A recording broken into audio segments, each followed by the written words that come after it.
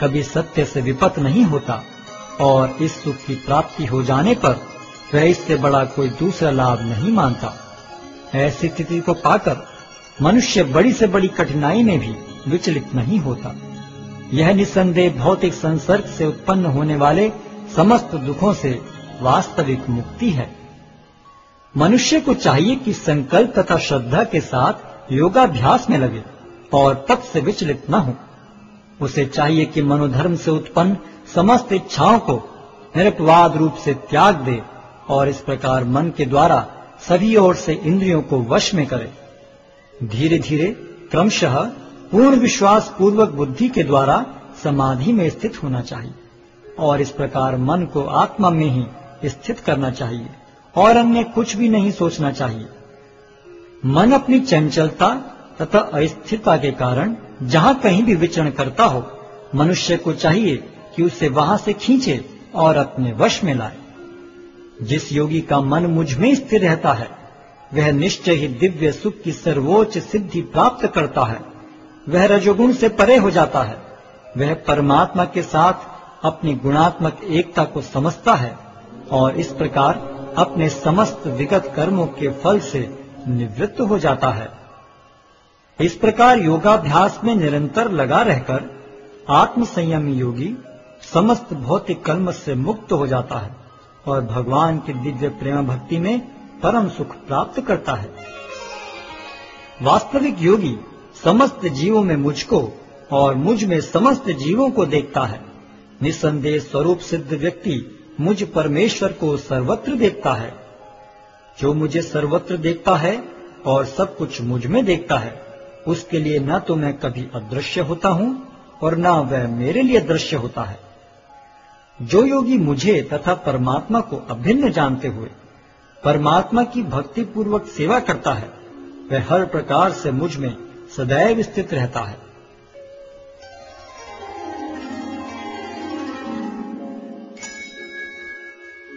हे अर्जुन, वह पूर्ण योगी है जो अपनी तुलना से समस्त प्राणियों की उनके सुखों तथा दुखों में वास्तविक समानता का दर्शन करता है। अर्जुन ने कहा, हे मधुसूदन, आपने जिस योग पद्धति का संक्षेप में वर्णन किया है, वह मेरे लिए अव्यवहारिक तथा असहनीय है, क्योंकि मन चंचल तथा अस्थिर है। हे कृष्ण क्योंकि मन चंचल उशंखल हठीला तथा अत्यंत बलवान है, अतः मुझे इसे वश में करना वायु को वश में करने से भी अधिक कठिन लगता है।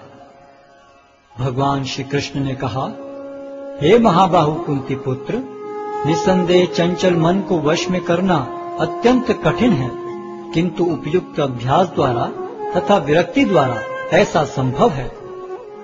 जिसका मन श्रृंखल है, उसके लिए आत्म साक्षात्कार कठिन कार्य होता है, किंतु जिसका मन संयमित है और जो समुचित उपाय करता है उसकी सफलता ध्रुव है, ऐसा मेरा मत है।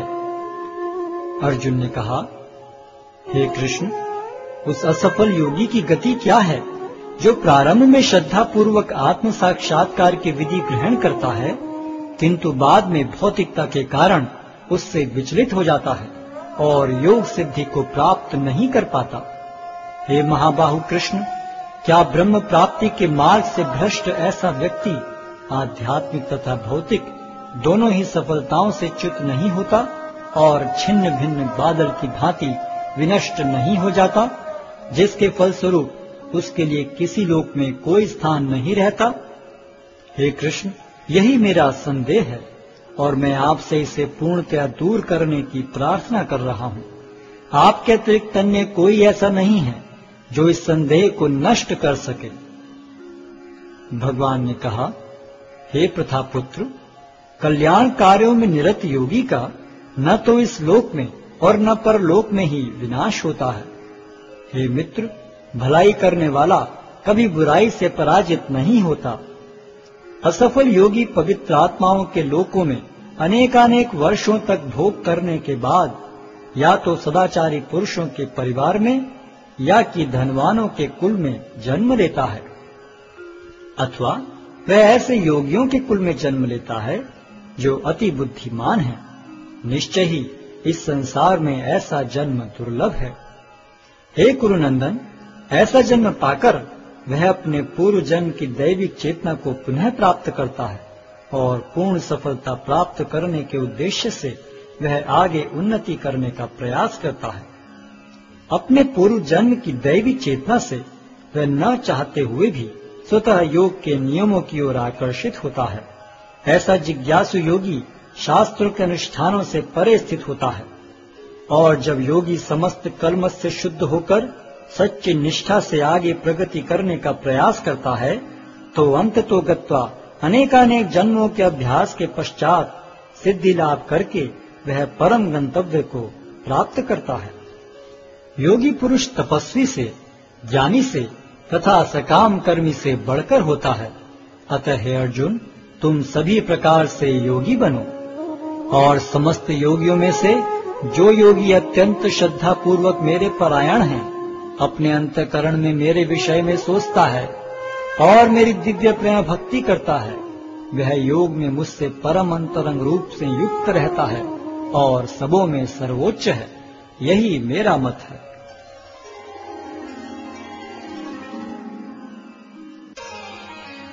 अध्याय सात, भगवत ज्ञान।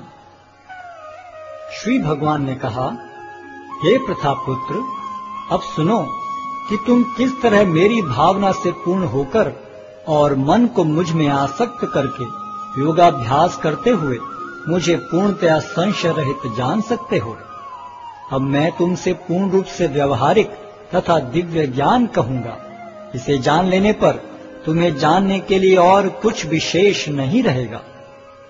कई हज़ार मनुष्य में से कोई एक सिद्धि के लिए प्रयत्नशील होता है, और इस तरह सिद्धि प्राप्त करने वालों में से बिरला ही कोई एक मुझे वास्तव में जान पाता है। पृथ्वी, जल, अग्नि, वायु, आकाश, मन, बुद्धि तथा अहंकार, ये आठ प्रकार से विभक्त मेरी अपरा प्रकृतियाँ हैं। हे महाबाहु अर्जुन, इनके अतिरिक्त मेरी एक अन्य पराशक्ति है, जो उन जीवों से युक्त है, जो इस भौतिक अपरा प्रकृति के साधनों का विदोहन कर रहे हैं। सारे प्राणियों का उद्गम इन दोनों शक्तियों में है। इस जगत में जो कुछ भी भौतिक तथा आध्यात्मिक है, उसकी उत्पत्ति तथा प्रलय मुझे ही जानो। हे धनंजय, मुझसे श्रेष्ठ कोई सत्य नहीं है। जिस प्रकार मोती धागे में गुथे रहते हैं, उसी प्रकार सब कुछ मुझ पर ही आश्रित है। हे कुंती पुत्र, मैं जल का स्वाद हूँ, सूर्य तथा चंद्रमा का प्रकाश हूँ, वैदिक मंत्रों में ओंकार हूँ, आकाश में ध्वनि हूँ तथा मनुष्य में सामर्थ्य हूँ। मैं पृथ्वी की आद्य सुगंध और अग्नि की ऊष्मा हूँ। मैं समस्त जीवों का जीवन तथा तपस्वियों का तप हूँ। हे प्रथापुत्र यह जान लो कि मैं ही समस्त जीवों का आदि बीज हूँ।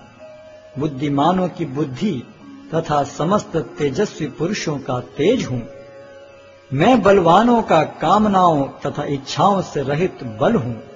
हे भरत श्रेष्ठ अर्जुन, मैं वह काम हूँ जो धर्म के विरुद्ध नहीं है।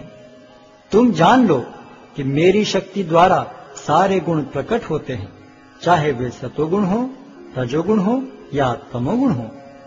एक प्रकार से मैं सब कुछ हूँ, किंतु हूँ स्वतंत्र। मैं प्रकृति के गुणों के अधीन नहीं हूँ, अपितु वे मेरे अधीन हैं।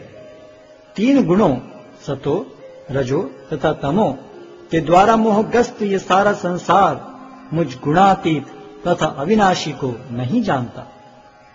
प्रकृति के तीन गुणों वाली इस मेरी दैवी शक्ति को पार कर पाना कठिन है। किंतु जो मेरे शरणागत हो जाते हैं, वे सरलता से इसे पार कर जाते हैं।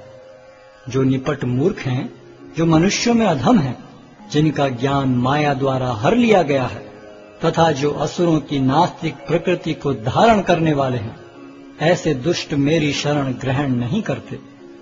हे भरत श्रेष्ठ चार प्रकार के पुण्यात्मा मेरी सेवा करते हैं आर्थ जिज्ञासु, अर्थार्थी तथा ज्ञानी। इनमें से जो परम ज्ञानी है और शुद्ध भक्ति में लगा रहता है, वह सर्वश्रेष्ठ है। क्योंकि मैं उसे अत्यंत प्रिय हूँ और वह मुझे प्रिय है। निस्संदेह ये सब उदार चेता व्यक्ति हैं, किंतु जो मेरे ज्ञान को प्राप्त है, उसे मैं अपने ही समान मानता हूँ। वह मेरी दिव्य सेवा में तत्पर रहकर मुझ सर्वोच्च उद्देश्य को निश्चित रूप से प्राप्त करता है। अनेक जन्म जन्मांतर के बाद जिसे सचमुच ज्ञान होता है, वह मुझको समस्त कारणों का कारण जानकर मेरी शरण में आता है। ऐसा महात्मा अत्यंत दुर्लभ होता है। जिनकी बुद्धि भौतिक इच्छाओं द्वारा मारी गई है, वे देवताओं की शरण में जाते हैं और वे अपने अपने स्वभाव के अनुसार पूजा के विशेष विधि विधानों का पालन करते हैं। मैं प्रत्येक जीव के हृदय में परमात्मा स्वरूप स्थित हूँ। जैसे ही कोई किसी देवता की पूजा करने की इच्छा करता है, मैं उसकी श्रद्धा को स्थिर करता हूँ, जिससे वह उसी विशेष देवता की भक्ति कर सके। ऐसी श्रद्धा से संबंधित वह देवता विशेष की पूजा करने का यत्न करता है और अपनी इच्छा की पूर्ति करता है। किंतु वास्तविकता तो यह है कि ये सारे लाभ केवल मेरे द्वारा प्रदत्त हैं। अल्प बुद्धि वाले व्यक्ति देवताओं की पूजा करते हैं और उन्हें प्राप्त होने वाले फल सीमित तथा क्षणिक होते हैं। देवताओं की पूजा करने वाले देवलोक को जाते हैं, किंतु मेरे भक्त अंततः मेरे परम धाम को प्राप्त होते हैं। बुद्धिहीन मनुष्य मुझको ठीक से न जानने के कारण सोचते हैं कि मैं भगवान कृष्ण पहले निराकार था और अब मैंने इस स्वरूप को धारण किया है। वे अपने अल्प ज्ञान के कारण मेरी अविनाशी तथा सर्वोच्च प्रकृति को नहीं जान पाते। मैं मूर्खों तथा अल्पज्ञों के लिए कभी भी प्रकट नहीं हूँ। उनके लिए तो मैं अपनी अंतरंगा शक्ति द्वारा आच्छादित रहता हूँ, अतः वे ये नहीं जान पाते कि मैं अजन्मा तथा अविनाशी हूँ। हे अर्जुन, श्री भगवान होने के नाते मैं जो कुछ भूतकाल में घटित हो चुका है जो वर्तमान में घटित हो रहा है और जो आगे होने वाला है, वह सब कुछ जानता हूँ। मैं समस्त जीवों को भी जानता हूँ, किंतु मुझे कोई नहीं जानता। हे भरतवंशी, हे शत्रु विजेता, समस्त जीव जन्म लेकर, इच्छा तथा घृणा से उत्पन्न द्वंद्वों से मोहग्रस्त होकर, मोह को प्राप्त होते हैं। जिन मनुष्यों ने पूर्व जन्मों में तथा इस जन्म में पुण्य कर्म किए और जिनके पाप कर्मों का पूर्णतः उच्छेदन हो चुका है, वे मोह के द्वंद्वों से मुक्त हो जाते हैं और वे संकल्प पूर्वक मेरी सेवा में तत्पर होते हैं। जो जरा तथा मृत्यु से मुक्ति पाने के लिए यत्नशील रहते हैं, वे बुद्धिमान व्यक्ति मेरी भक्ति की शरण ग्रहण करते हैं। वे वास्तव में ब्रह्म हैं, क्योंकि वे दिव्य कर्मों के विषय में पूरी तरह से जानते हैं।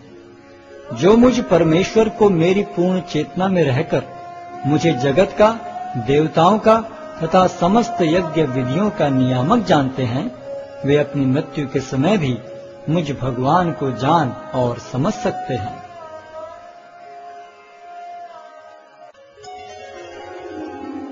अध्याय आठ, भगवत प्राप्ति।